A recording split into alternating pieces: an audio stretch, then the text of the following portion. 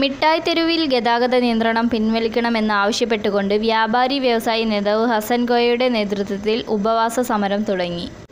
മിഠായി തെരുവിലെ നവീകരണത്തിന് ശേഷം വാഹന നിയന്ത്രണം ഏർപ്പെടുത്തിയ സാഹചര്യത്തിൽ അത് ഉപേക്ഷിക്കണമെന്നാവശ്യപ്പെട്ട് വിവിധ വ്യാപാരി സംഘടനകൾ സമരത്തിലേക്ക്. കേരള വ്യാപാരി വ്യവസായി ഏകോപന സമിതി ജില്ലാ കമ്മിറ്റി സംസ്ഥാന പ്രസിഡന്റ് ഹസൻ ഗോയുടെയും നേതൃത്വത്തിൽ ജില്ലാ നേതാക്കളുടെയും ഉപവാസ സമരം ഇന്നു മുതൽ ആരംഭിച്ചു.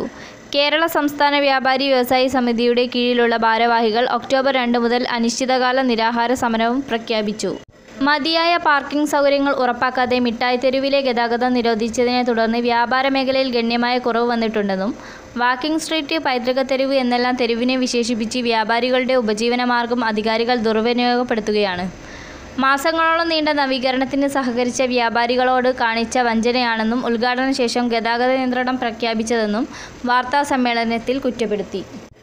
ഗതാഗത നിയന്ത്രണത്തെ തുടർന്ന് മിഠായി തെരുവിലെ ഇരുപതോളം കടകൾ പൂട്ടുകയും പലതും അടച്ചുപൂട്ടേണ്ട അവസ്ഥയിലേക്ക് എത്തുകയും ചെയ്തു. നൂറിൽ പരം തൊഴിലാളികളുടെ ജോലിയും നഷ്ടമായി. നിലവിലെ ഗതാഗത നിയന്ത്രണ സമയത്തിൽ ഇളവ് വരുത്താൻ സമരക്കാർ ആവശ്യപ്പെട്ടു.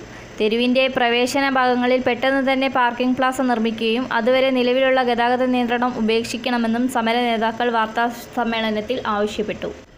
കൂടുതൽ വാർത്തകൾ അറിയാൻ ഈ ചാനൽ സബ്സ്ക്രൈബ് ചെയ്യൂ.